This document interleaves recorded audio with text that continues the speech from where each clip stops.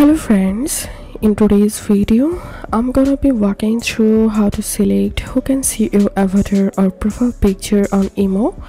But before getting started this video make sure to subscribe how to do it. So open your imo app and tap on your profile icon to the top left corner and tap on settings. Tap on privacy. Scroll down and tap on who can see my avatar and now you can select everyone or you can select my contacts or you can select nobody. So select any of them and that's how we can do it. If this video helped you give a thumbs up and please consider subscribe to how to do it. Thank you for watching